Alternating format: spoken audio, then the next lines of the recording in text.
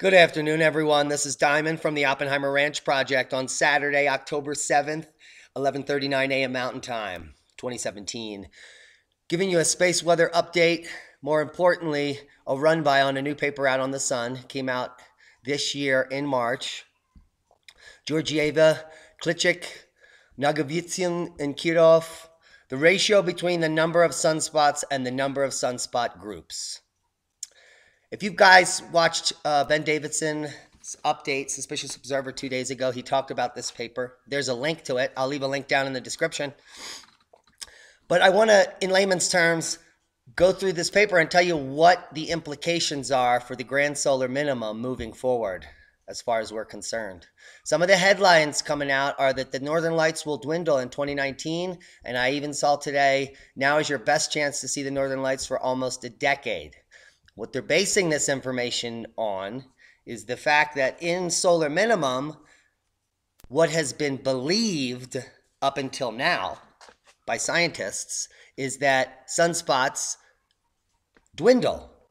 The number of sunspots dwindle. And when we look at the sunspot cycle chart, during solar maximum, the number of sunspots increases. And as we go into solar minimum, the number of sunspots per solar cycle decreases.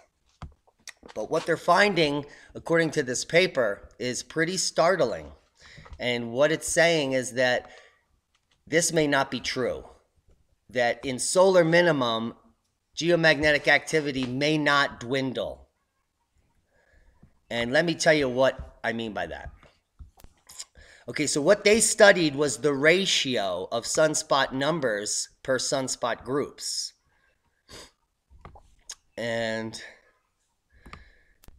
they found that during solar maximum, as you go towards solar maximum, the number of sunspots per large sunspot groups increases, and you have these large geomagnetic events.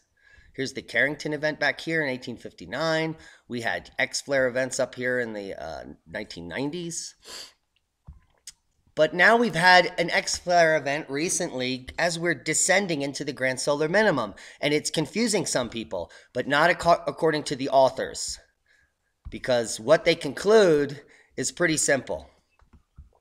That what's happening here, so what they did is they looked at the most recent sunspot data and they found that the total number of sunspots during sunspot maximum and in a broad interval around it is strongly dominated by the sunspots in large groups.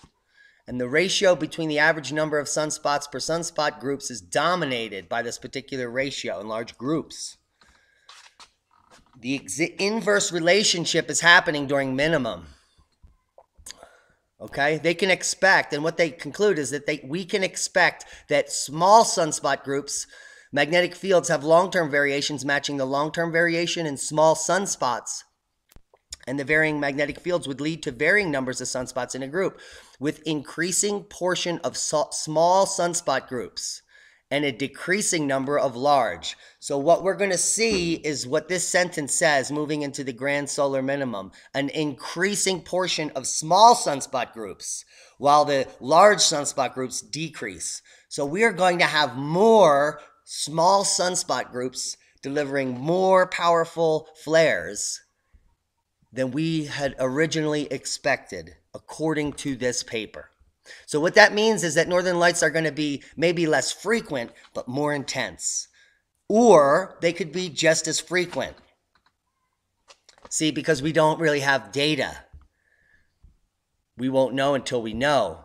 But what they're finding in these last few cycles as we decrease in solar activity, the number of small sunspot groups is increasing as the number of large sunspot groups are decreasing.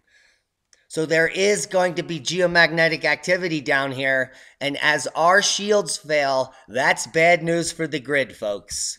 Very bad news. If you have any questions, please leave them down in the description box down below here. And if you haven't subscribed to our channel yet, Please do so now. Guys, be safe.